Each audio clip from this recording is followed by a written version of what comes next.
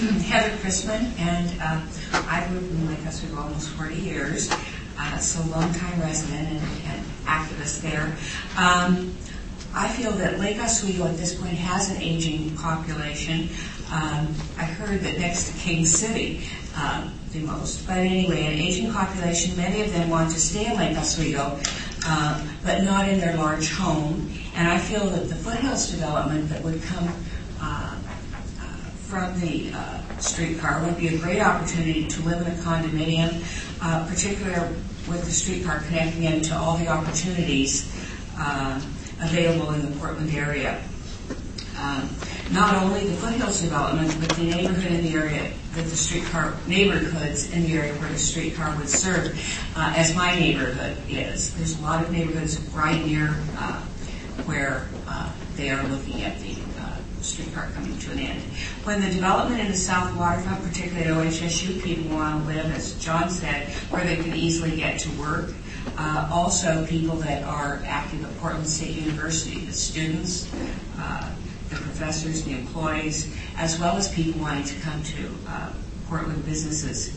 I think the streetcar helps Lake Oswego meet its density requirements um, because with the 177 acres, it would develop uh, many more living units if there were a streetcar involved. And this protects a lot of the farmland from around Lake Oswego from development. Last week, we had an open house to uh, hear the Foothills District Framework Plan hosted uh, by uh, Williams, Dane, and White, who was hired by the city of Lake Oswego and the local property owners. And there were at least 120 people attending the meeting, and judging from the discussion and the questions, they were very supportive of the streetcar. It was, so thank you. Thank you both. Uh, Vic Reamer and David Dorling are next presenters.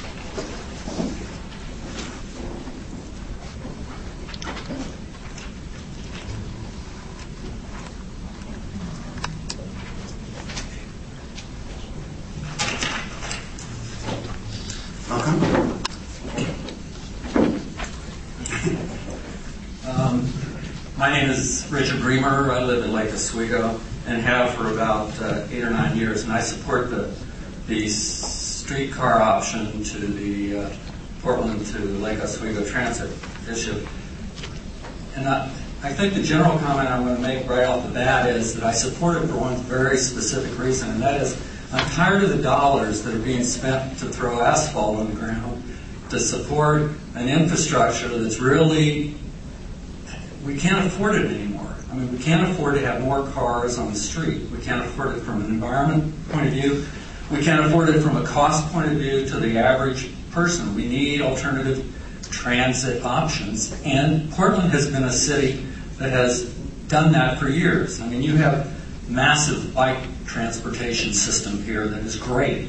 You have one of the most renowned MAX lines and light rail and stuff like that. Streetcar to me represents a case where we move south along 43 and allows you the option to then connect east and west from there or on south to to uh, West Linn and to Oregon City.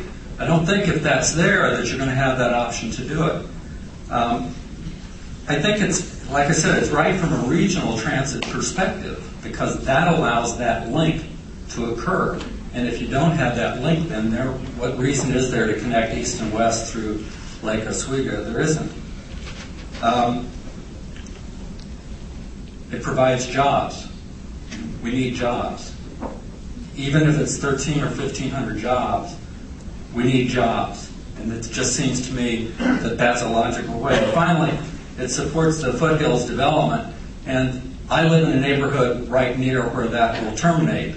My neighborhood is under pressure to increase density because of requirements in Metro to account for, you know, for, for people moving into the area. With foothills development, that density requirement can be absorbed, part of that density requirement can be absorbed in foothills. In my neighborhood, which is currently now 72% uh, multifamily, in Old Town, in the original district of Lake Oswego, won't feel that pressure. Thank you. Thank you.